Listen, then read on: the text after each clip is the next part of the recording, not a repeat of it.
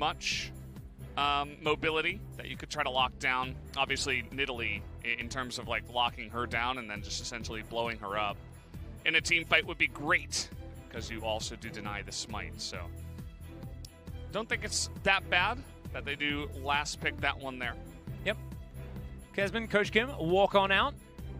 And uh, here we go. This is going to be your pick split push style composition from T1, Blitzcrank, and the Kalista on the bottom side, TF Nidalee, and then Camille on the top. And uh, I feel like this is largely a finesse composition. You really do need to understand exactly how to make this comp. This is a slow-moving juggernaut of destruction. And they do want a team fight. Definitely easier to play, but uh, certainly does have a lot of nuance. But it is more about the 5v5. That is for sure. Will we see another Aphelios destroy the rift, as we saw earlier on today? Is another question. Can they overcome Teddy and Keria this time? Down in the bottom side. Yeah. Also debuting on Blitzcrank, Keria certainly knows Wondering, like, how Is there some reason why that skin might be better than some other skin? I don't think it's like the eye Blitzcrank situation. Oh boy, here we go. All right. Rocking a hard place. It's where Dudu is, and there's the gold card. First Blood goes over to Canna. Yep, Faker now not too far behind as far as EXP as well, as they're Oh. going back top lane. Faker doesn't care about that minion wave whatsoever. As the Obliterate comes in, I believe he did have Death Realm, and uh, Canna's in there at the moment, but... And uh, they get two Summoner spells out of the Kalista. Definitely good news, is uh, this is just getting cruel. Death Realm not up right now. Yeah, Dudu just not going to be giving away another Drake uh, without a fight. As Death Realm comes down, Canna actually not surviving too well uh, outside of that. But now, in comes Cad. There's the bad news for that aggressive. Uh, you have to know that Trundle's coming or Cinder's coming, so I think you should save your hook shot. And then Dudu pushes out for some reason. I, I don't know. He's obsessed with pushing the lane, and he is going to give another kill over after.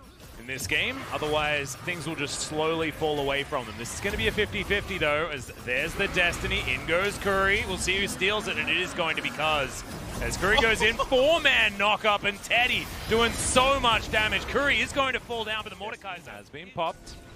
Looks like T1 still want to deny Soul Point. Canna here towards the bottom side.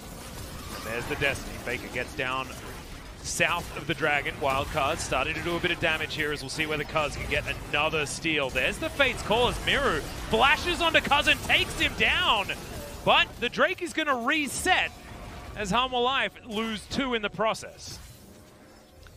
Pretty wonky there. I, I think that was some. that was like a Oh, crazy meanwhile. pull. Yeah. Well, Canna actually just teleported up there. so down he this wasn't- turret. That also means that T1 guarantee this Drake because Dudu teleported. I think it's actually a brilliant idea for Canada to get up there because as soon as they that they're not going to be getting back for a potential Drake fight. That's Okay. you can do that by the way. The Fate's call with the pull, Yep. and it's like oh, The ultra reposition. Unfortunately, forced to play to the beat of uh, T1's drum as uh, Faker is put in the death realm for a little while. Exhaust comes through. As Faker does have flash if he'd like it. Going to use his Zhonya's first, and Death's Grasp not going to be quite enough. As he's got Destiny, Teddy comes in. They want to take down Miru first. Very smart, actually. And then Faker jumps in. over to the split push lane and to help him out. And Faker did a great job of surviving for that amount of time. Hanwha Life kind of grasping at straws with that pick. All right, well, Viper's actually able to get a fair bit of work done here as the Sentry Turret also onto Keria doing a ton of damage as Viper with exactly the right weapons the last time. Let's have a look at what Faker does here Said I'm Death Realm. 나 이거 죽은 거 같아, 죽은 거 같아. Said I think I'm dead. I think I died. Yep. 본다, 이거 본다. Watch this. Going in. Gets the kill. Nice dodges here by Viper. yeah, that Avoids the sidestep hook. on the hook was actually really clean. Yeah, and that gets Curry in a position. if you remember, Twisted Fate, his Destiny gate used to be his E. you know, it was on like a 20 second cooldown. You could just Yeah. bounce around the map. Seems seems fair. Yeah, super balanced as Dudu's getting solid underneath his turret here by Canna.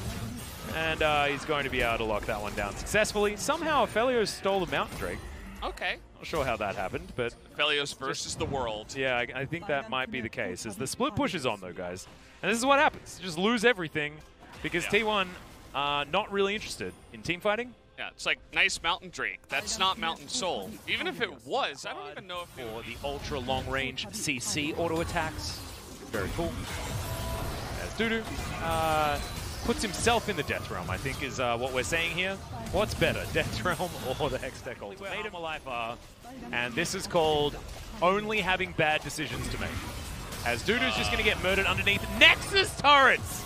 What the heck, Canna? Oh man, I actually feel bad for him. Oh my goodness. Zero and eight now has been achieved, I suppose, as Canna is not being very nice to the rookie player here from Hanwha Life.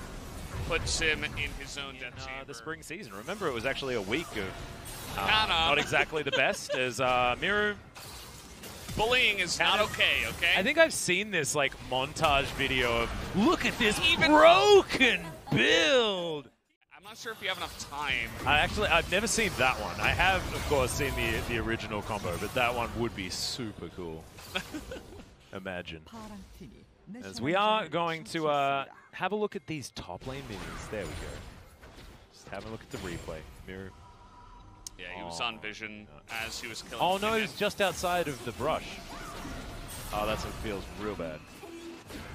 Yeah, I mean, he, he saw him go in the brush, was like, okay. About a year ago? year or two ago, something like that. And uh, we're just going to see the Trundle die. Very, very quickly, has found his way into the back line. Viper is still alive. But I don't think there's enough years ever anywhere that's going to save them. As Faker makes sure that Miru is Oh. not able to get any work done with the ultimate.